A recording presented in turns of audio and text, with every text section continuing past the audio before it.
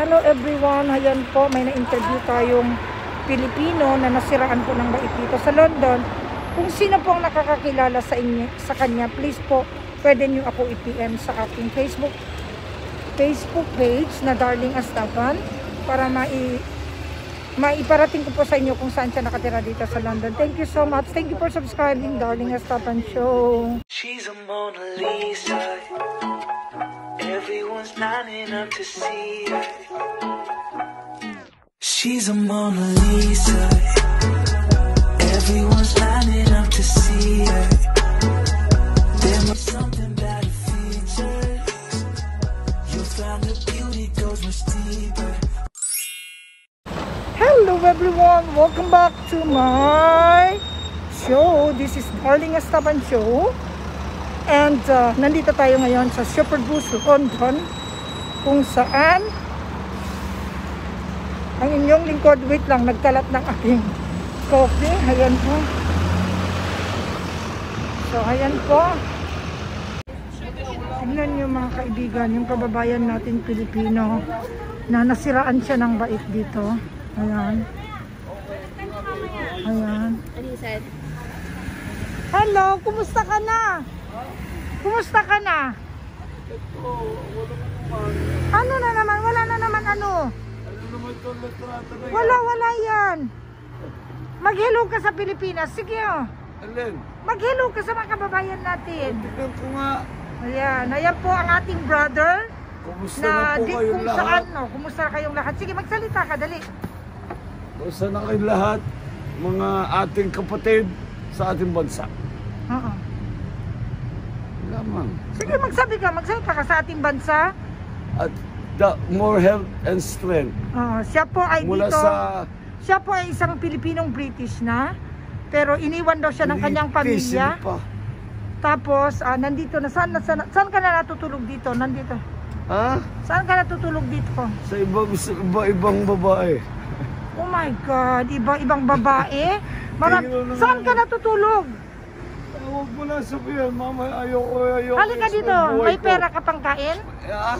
May pera ka pang kain? Wala, bigyan mo nga ako. O, bibigyan kita ngayon ng 1 pound, okay? Pwede na yun. Pangkain mo. Love you. Wow, love you too, ha?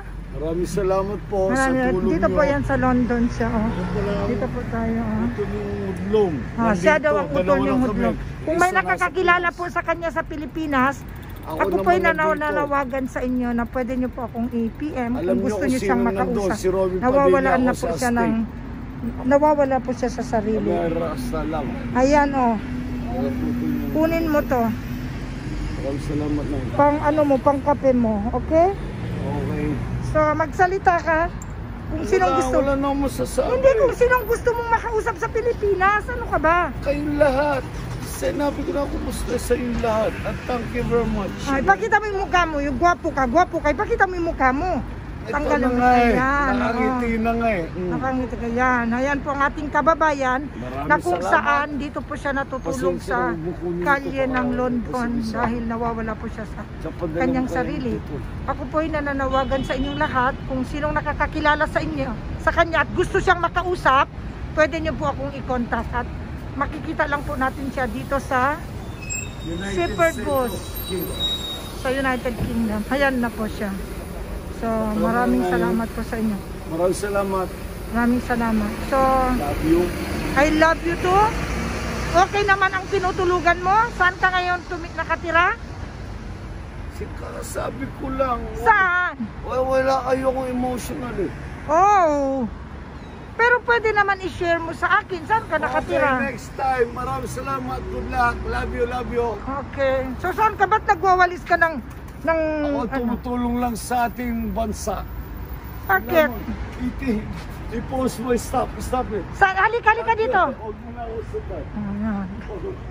Kawawa po siya. Kawawa po siya. Kababayan natin yan. Na nawala, ah, nawala sa sarili. Dito siya nakatira. Kung saan saan dito sa London. Sa mga kalye ng London. Ayan po siya. So, nakakaawa po.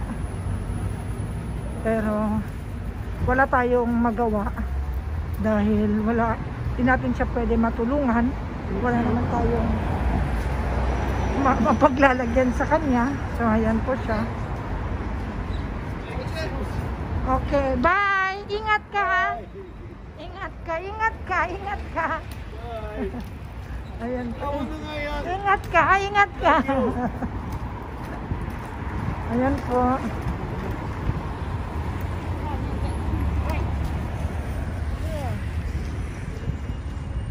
Sarado pa ang Pilipino coffee shop dito. Ito ata. Pero close pa. Ah, pwede na.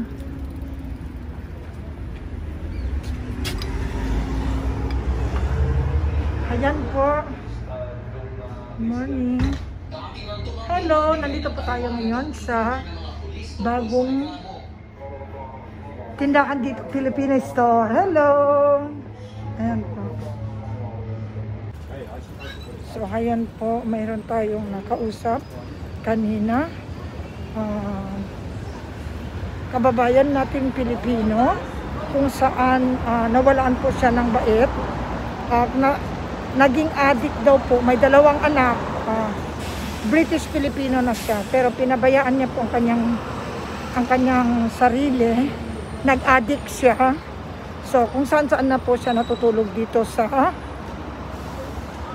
daan.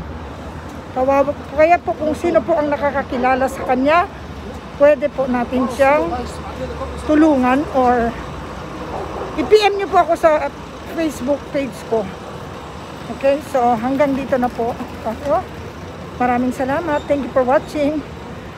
Please don't forget to subscribe and like my channel. Please don't forget to like, subscribe, and like my channel. Darling Estapan Show. Ayan guys. Yan po.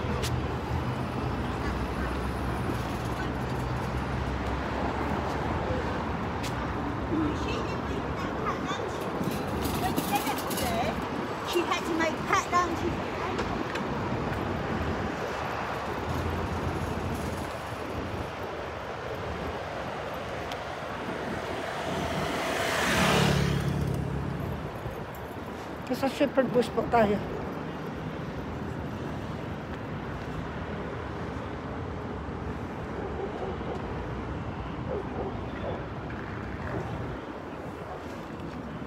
Hello everyone, ayan po, may na-interview tayong Pilipino na nasiraan po ng bait dito sa London. Kung sino po ang nakakakilala sa inyo, sa kanya, please po, pwede niyo ako i-PM sa aking Facebook Facebook page na Darling Astapan para mai maiparating ko po sa inyo kung saan siya nakatira dito sa London. Thank you so much. Thank you for subscribing, darling. A stop and show. I know you feel this movement right here. You just evolving